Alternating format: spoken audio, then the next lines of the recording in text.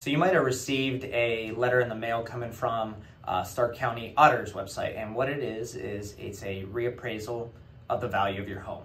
Now, Dom, how often does this happen? So they do this every six years, and they assess every single parcel in Stark County, Ohio. Okay. hmm So they're just trying to get a updated evaluation. Yeah, they're trying to get an updated evaluation on your property, and it always prompts a lot of questions because you get this card in the mail saying your taxes are going up, possibly. Okay. So, so every six years, they do it every year, but the mandatory one's every six years, and you'll get a, a notice of the new, what they call the evaluation or the appraised valuation.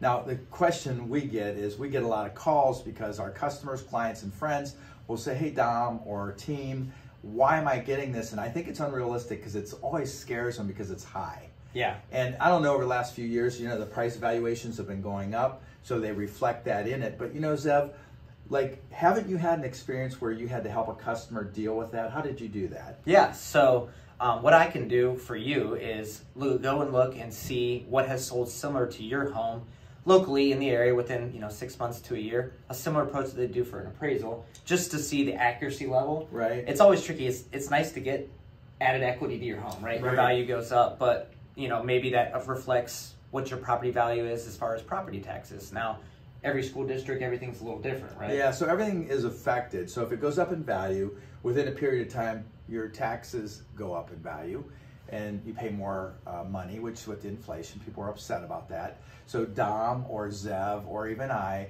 we can do that assessment he was talking about to help you. And then you could technically go, where could he, they go to the auditor's site? Or Yeah. where do they go if they want to kind of contest it? Or Yes. maybe just have a conversation with the auditor to see if maybe this is realistic. Sometimes, you know, it's not an exact science. They want to show the improvement of what the values are because of what's been happening the last few years. But sometimes, you know, we feel they're maybe a little too aggressive. And then sometimes we think they're too aggressive and really they're not. So Yep. we just want to save money and not pay as much as we have to. So I guess in closing, if you need information to see if maybe you need some help or we can help you, um, Dom, how do they reach out to you? Yeah, you can call or text me at 330 234 6204. Zev? Yeah, you can call or text me at 330-933-3258. And if you want to reach, call or text Dominic at 330-418-1535. If you want to check out our website, dominicfonte.com, check out some of our reviews, see what you'll experience working with our team. Uh, we're here to uh, help you every step of the way with whatever it is real estate. Thanks for tuning in.